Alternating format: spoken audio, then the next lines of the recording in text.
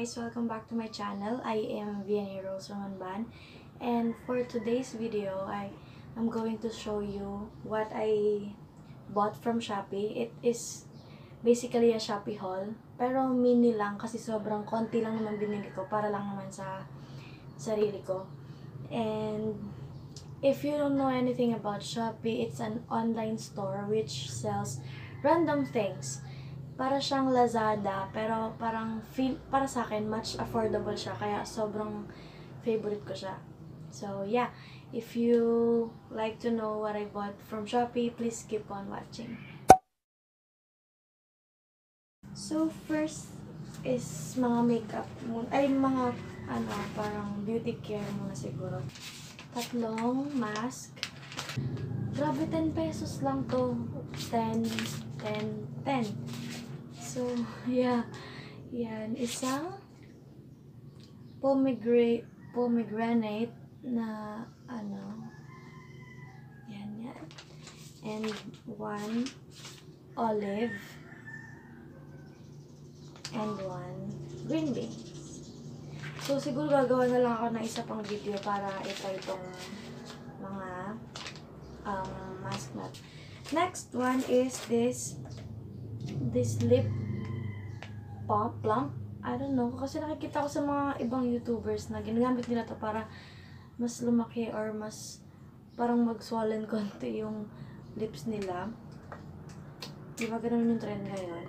So, yan, nabili ko to for only 7 pesos.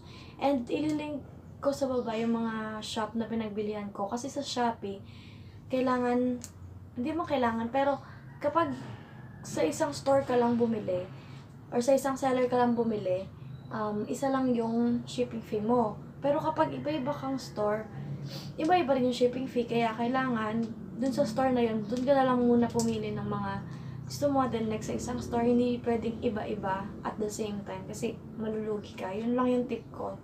Na tinan muna yung mga mga ben- benta ng isang seller bago ka lumipat sa isa. Kasi para isang shipping lang yun. Kasi kapag lilipat ka agad, gag- alala, kapag lilipat ka agad sa isang seller, magiging dalawa yung shipping fee ng mga binili mo. So, ito, nabili ko for only 7 pesos. And also, guys, yung mga sinasabi kong price, hindi to talaga yung pag tingnan nyo yung shop, hindi siya yung ganun talaga eksakto. Kasi minsan, nagbabago-bago yung mga seller ng price. Minsan, mas bumababa. Minsan, mas nagmamahal ng konting difference lang naman. So, yeah, 7 pesos. And, ito, nabili ko din sa Shopee. Itong Bio Aqua Aloe Vera 92% um, aloe extract. So, nagamit ko na to. And gagawan ko siya ng review kasabay nung nabili ko na aloe vera gel din sa Watsons. And ito is 75 pesos lang. Next is itong Crystal Collagen Eye Mask. Yan. And nabili ko to for only 11 pesos lang. Kasi ako, sobrang bilis kong mag-eye bags or mag-swollen ng eyes ko be- because sobrang mapu lagi ako nagpupuyat. So, gagawan din natin siya ng review. Kasama yung eto, sige, siguro ito na lang magkasama and then itong tatlo, hihiwalay ko na lang ng video. So, yeah. And then, itong water candy tint. Marami to, kaso binigay ko na sa mga friends ko kasi hindi ko naman mauubos. And also, binigyan ko yung kapatid ng boyfriend ko. Yeah. Ang, nasa, ang shade na nasa akin lang is strawberry. Maganda to, guys. As in talaga parang watery siya. Kaya madali siyang i-blend sa cheeks and sa lips. Ito yung ginagamit ko kapag pupunta lang ako ng school. And yeah, try natin na yan. Konti. Mas maganda to kapag inunan mo bago ka mag-foundation or mag-pulbo. Mas mukhang natural tingnan.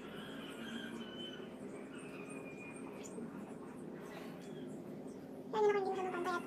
Yan talaga yan.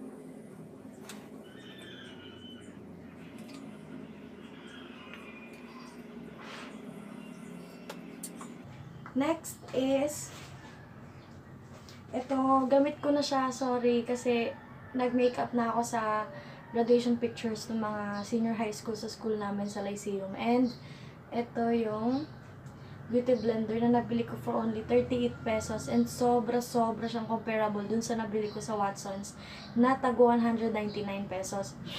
Ito, kapag ganyan siya, pero kapag binasa mo, lalaki pa siya. Gaya nung sa Watsons. Pero meron akong nabili sa Watsons na hindi siya nag nag-expand yung ano niya. Ayan. 38 pesos lang and super super ganda niya pang pang foundation talaga. And ito na yung ginagamit ko sa foundation, pagbe-bake ng face. Yun, pang blend ng contour. Ito lang lahat. And, tapos na, and itong, ito, itong, um, Anastasia Deep Brow Pomade. Pero hindi talaga siya Anastasia, syempre. Fake makeup. Fake makeup. So, disclaimer, hindi ko kayo, um, in encourage na bumili ng ganito. Pero, kaya pakita ko lang kung ano yung mga binabili ko. And, yeah, ito yung ginagamit ko pagkapasok ako sa school. And, ang shade niya is deep brown. Ay, no, deep brown. Dark brown. Dark brown, I guess. Yan. And, pigmented siya and madali lang siya i-blend. So, yeah. And next, tapos na tayo sa makeup. Ito na mismo lalagyan na to. Na ginawa cosmet um, cosmetic organizer or cosmetic makeup bag. Kalimutan. Ayan siya. Color blue yung binili ko. And, sa pag binuksan mo siya, meron siya dito sa taas na pwede mong lagyan ng mga brushes or gaya ako, nilalagay ko dyan yung yung mga cotton buds, mga tissue.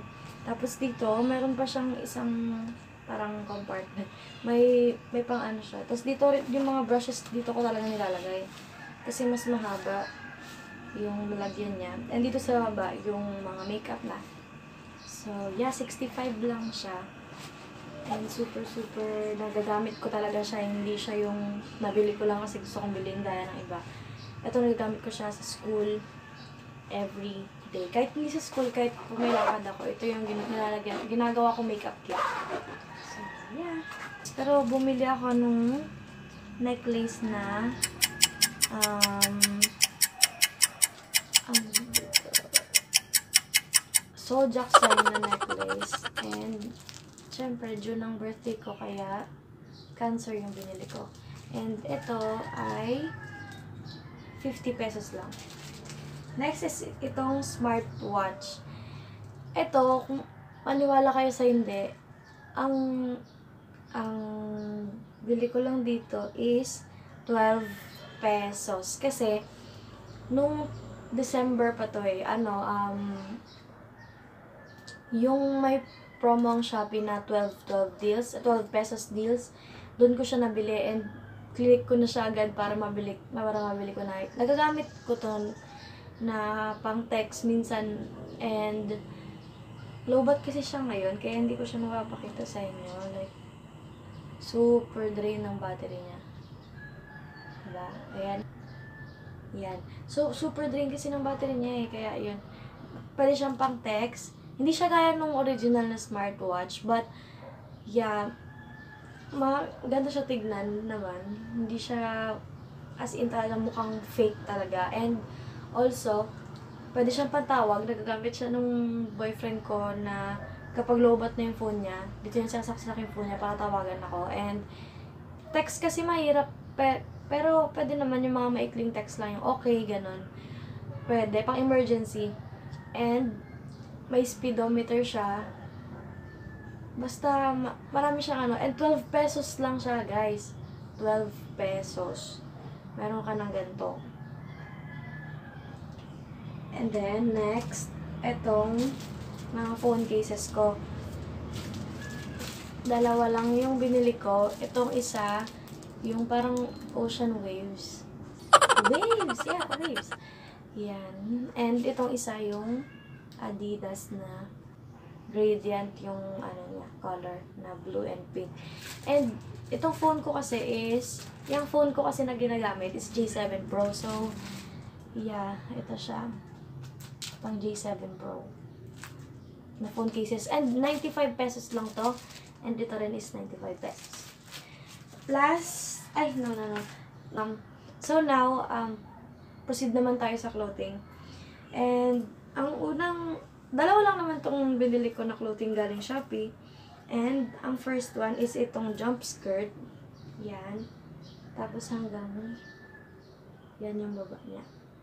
Nakikita niyo ba yung mga su yung suot ni Nadine? Kaya ang tawag nila dito, Nadine jump skirt. So, ang bili ko dito is, is 185 pesos lang. Yan, yan.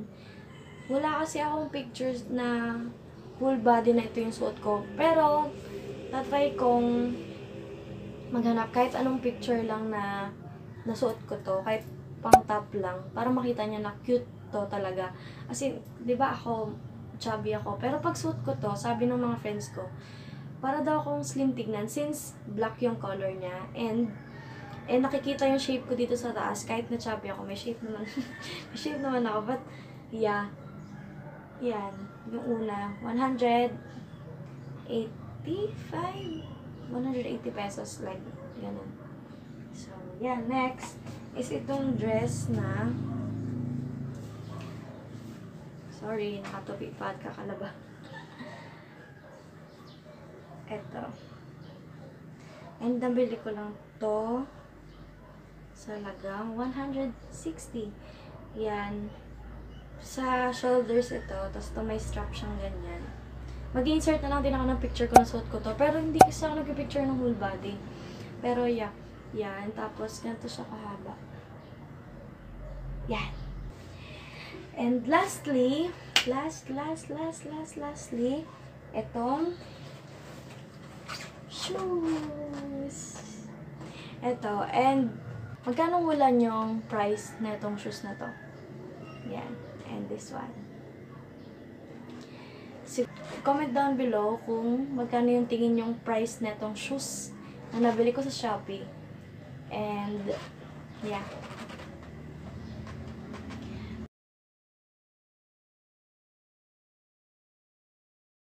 So, etong etong shoes na to, nabili ko lang for only 50 pesos. Promise, 50 pesos. Ililink ko sa baba yung yung seller na nabilihan ko and talaga sobra 50 pesos lang to. Yan. Nasuot ko siya kahapon kaya medyo madumi ilalim. But sobra sobrang worth it bumili sa kanya. Bibili ako ulit kapag meron na yung stock na gusto ko kasi yung iba wala wala pa eh. Dalawa yung binili ko kasi sumabay yung kaibigan ko sa akin. Sumabay siya. So yeah. Dalawa yung binili ko namin. Kita-isa kami. Pares kaming size. Kaya lang ang tip ko lang sa pagbili sa kanya, guys. Kunwari ako, size 8 ako. 8 yung binili ko. Pero parang maliit pa rin sa akin. Maliit pa rin to.